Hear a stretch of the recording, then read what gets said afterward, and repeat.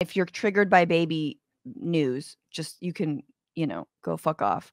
But um my my baby turned 3 months. Very exciting. 3 months, we made it.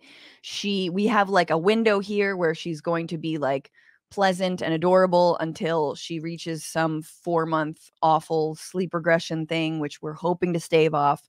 Um all of this you might think is boring cuz like I don't have a kid. What do I care?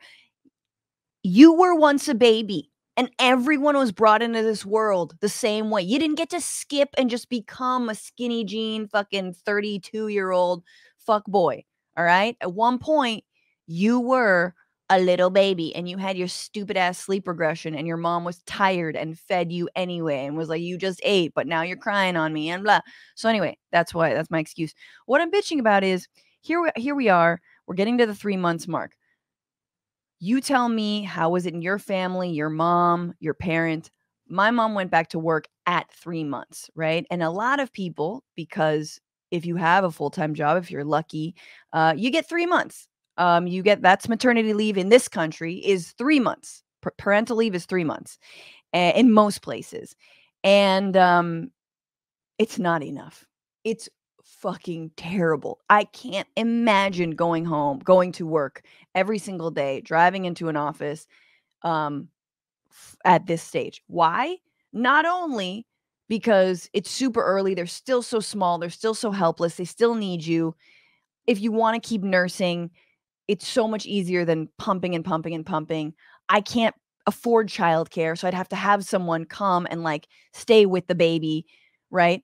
But on top of that, the baby's just getting real cute.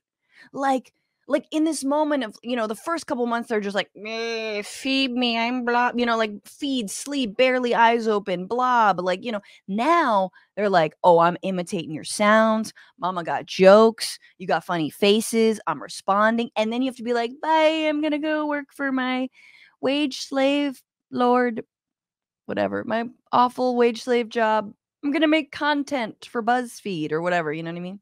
One of the jobs that I will eventually seek when I give up on this whole go it alone thing, you know what I'm saying? I'll be like, "Hey BuzzFeed, could you hire me?" No, but what I'm saying is it's fucked. And in other countries, you get it 6 months, you get a year. I believe it. What is it in Denmark? It's like, "Why don't you take 5 years?" That's not a Danish accent, but you know what I'm saying.